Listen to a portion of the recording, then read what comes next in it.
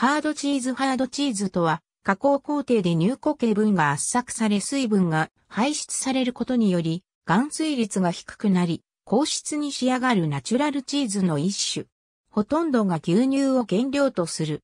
水分が少ないため保存性が高く、長期の熟成により深い旨味があり、風味も濃厚なのが特徴である。有名なものとして、イタリアのパルミジャーノレッジャーノ、イギリスのチェダー、スイスのパルメザン、グリュエール、ラクレット、エメンタール、オランダのハードエダムなどがある。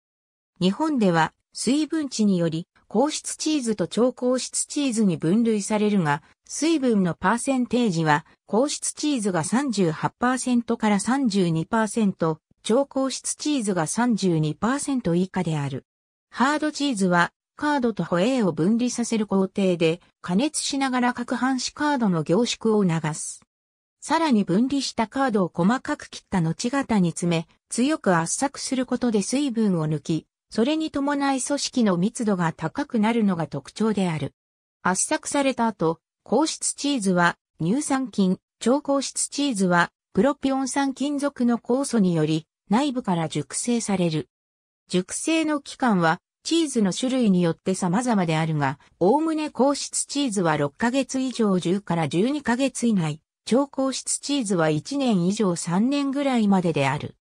熟成が進むと、リンドと呼ばれる外皮が形成され、自然の皮があるものをリンデッドタイプ、リンドの代わりに、フィルムで包み内部を保護するものをリンドレスタイプと呼ぶ。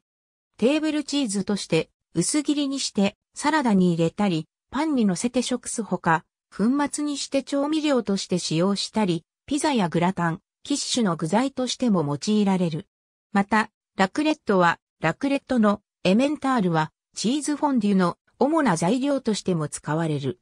切り口をラップで包み、冷蔵庫の中でも湿度の比較的高い野菜室に保存する。長期間保存する場合は、1回分ずつ小分けにして、ラップに包んで冷凍する。ありがとうございます。